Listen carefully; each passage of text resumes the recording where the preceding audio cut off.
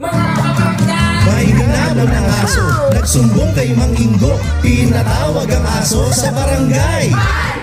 May nawawalang batya, ginawa palang bangka, nung minsan na bumaha sa barangay.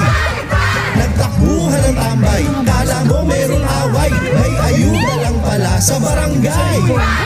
Sari-sari lang ang kwento, may pang may barbero, pero happy ang gulo sa barangay.